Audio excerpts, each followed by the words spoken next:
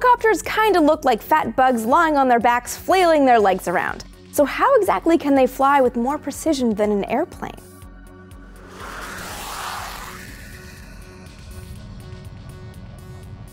Airplanes fly because wings are curved on the top and flat on the bottom, allowing them to harness the Bernoulli principle.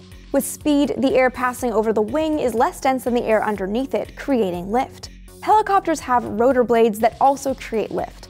As the blades spin, they move the air. Less dense air passes over the blades, while denser air passes underneath them.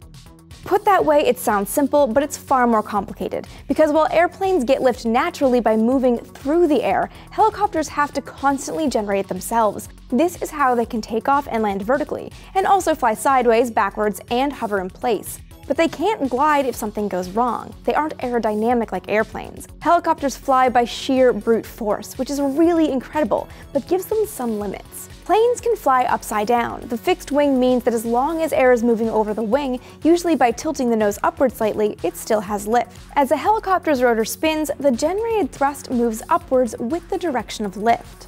So flying upside down would demand redirecting the blades so thrust is the opposite way, supporting an upside down vehicle.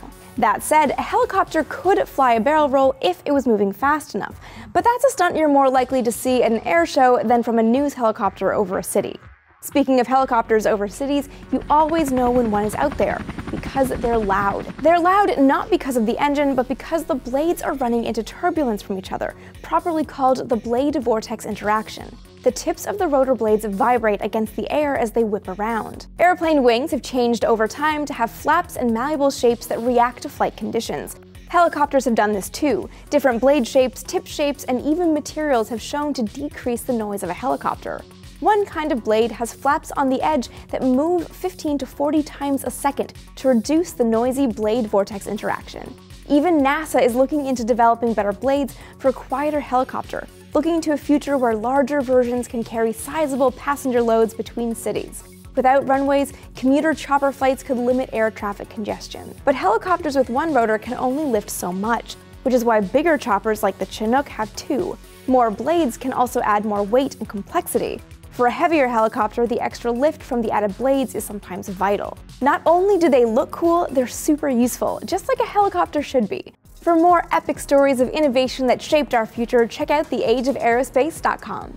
Speaking of flying, ever wonder why we get airsick? We've got the answer in this video right here. Do you still have questions about helicopters? Let us know in the comments, be sure to like this video, and subscribe for more Seeker.